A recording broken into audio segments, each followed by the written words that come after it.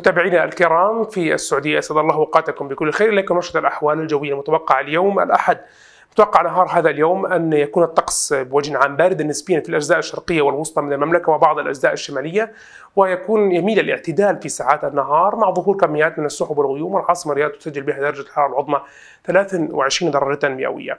خلال ساعات أيضا نهار هذا اليوم يتوقع أن تكون الفرص مهيئة لبعض الزخات من الأمطار في المناطق الشمالية من المملكة وبعض الأجزاء الجنوبية الغربية بمشيئة الله تعالى. أما اعتبارا من ساعات هذه الليلة ليلة الأحد على الاثنين يتوقع أن تتركز فرص الأمطار بمشيئة الله تعالى في الأجزاء الشمالية الشرقية. نستعرض معكم درجات الحرارة العظمى المتوقعة اليوم والصغرى الليلة القادمة نبدأها شمالا من سكاكا 19 9 على 16 9 وفي تبوك 22 إلى 7 درجات مئوية. المناطق الغربية من المملكة في مكة المكرمه 32 21 فرص للأمطار في مرتفعات الطائف من 23 إلى 15 المدينة المنورة 28 إلى 17 وفي جدة من 32 درجة مئوية في ساعات النهار تنخفض ليلا إلى 23 درجة مئوية. المناطق الجنوبية الغربية يتوقع أن تنشط اجمالا فرص هطول الأمطار بشكل جيد خلال اليومين القادمين تكون فرص أمطار جيدة في أبها من 20 إلى 9 درجات، الباحة 19 إلى 11 وفي جازان من 29 إلى 23 درجة مئوية. المناطق الشرقية من المملكة في الإحساء 24 إلى 11 مع أجواء مستقرة دمام 24 إلى 13 وفي حفر باطن من 21 إلى 13 درجة مئوية مع فرص الأمطار يوم الاثنين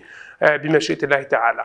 نختم بالمناطق الوسطى من المملكة الرياض 23 13 مع أجواء غائمه جزئيا فرص لبعض الأمطار المحلية كما تحدثنا سابقا في القصيم في بريده 24 15 وفي حائل من 23 إلى 10 درجات مع ظهور كميات من السحب والغيوم. اجمالا من المناطق الوسطى هناك فرص لأمطار محلية خلال ساعات نهار هذا اليوم مع ظهور كميات من السحب والغيوم. أتمنى لكم جميعا نهار سعيد أينما كنتم دمتم بخير. إلى اللقاء.